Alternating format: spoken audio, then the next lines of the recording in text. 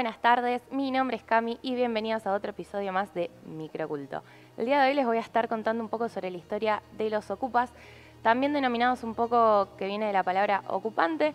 Si bien existieron desde siempre, un movimiento político que se desarrolla más o menos en los años 80, que viene un poco a la semejanza de los squatters, squatters o, corríjanme, ingleses. Es una palabra complicada. Una de las ciudades más conocidas, algunas, es por ejemplo la de Exarchia.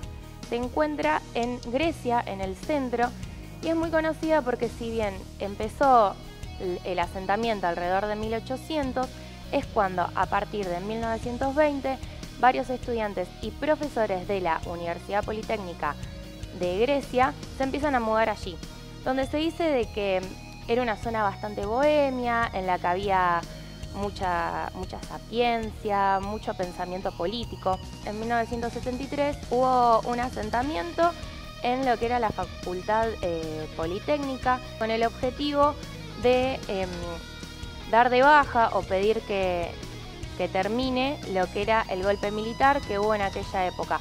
Es muy conocido esta toma porque duró varios días y hubo una fuerte represión de parte tanto de los estudiantes como de las Fuerzas Armadas. Desde ese momento se le toma a Exarcha como una zona sumamente política y anarquista.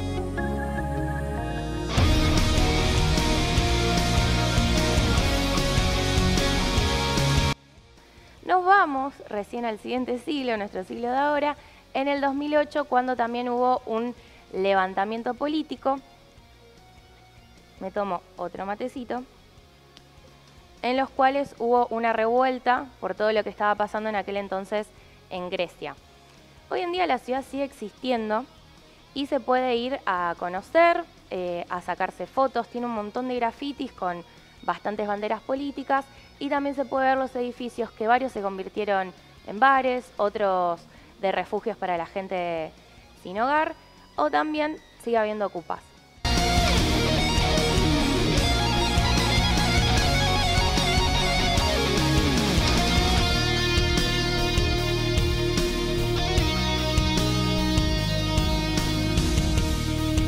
Otra de las ciudades más conocidas es la ciudad murallada de Caulón. En un principio era un fuerte militar, pero cuando se hace un cambio de posesión de, la ciudad por, de mano de los ingleses, esa zona queda liberada. Y después de la Segunda Guerra Mundial hubo una mayor ocupación de gente que venía de Japón. Era una ciudad en la que no había política y regía la mafia.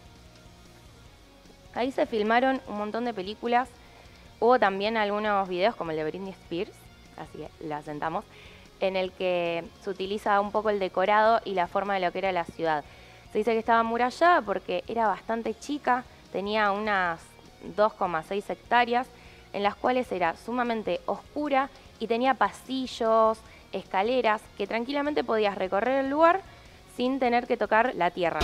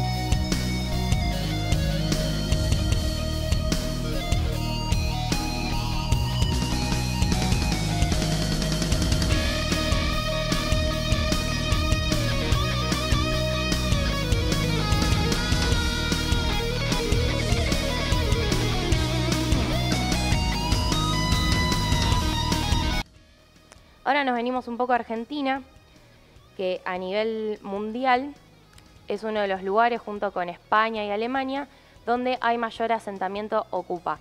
¿Por qué se debe en Argentina? Básicamente por los problemas económicos que vamos llevando a medida de los años. Me tomo otro matecito. Que hubo, como decía, que hubo a medida de los años en los cuales eh, en sí las personas les cuesta bastante poder acceder a una vivienda. Si bien es ilegal la toma de posesión de tierras, eh, también se encuentran, por ejemplo, asentamientos pacíficos en los cuales algunas personas eh, compran el terreno de gente que no sabía que ya era ocupa del lugar. Para que sean destituidos de las zonas, tiene que haber un documento legal firmado por un juez. No puede venir nadie a venir a decirte, che, no podés seguir acá en este territorio.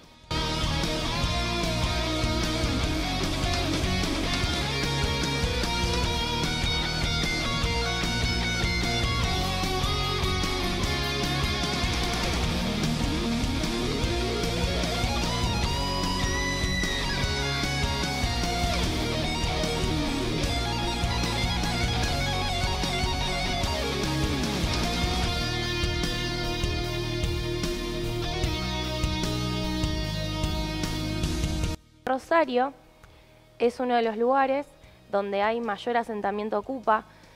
Uno de los más conocidos, por ejemplo, fue que pasó hace unos años en el barrio Toba, que hubo una fuerte represión por parte de la policía.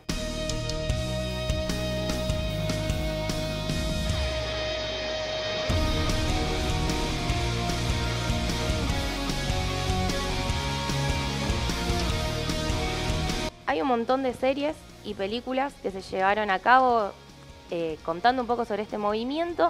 Uno de los más conocidos a nivel nacional e internacional es la serie Ocupas, que te muestra un poco sobre el problema económico que aquejaba eh, a la Argentina en los años 90. ¿Alguna vez escuchaste estas historias? Nos vemos la próxima. Chau, chau.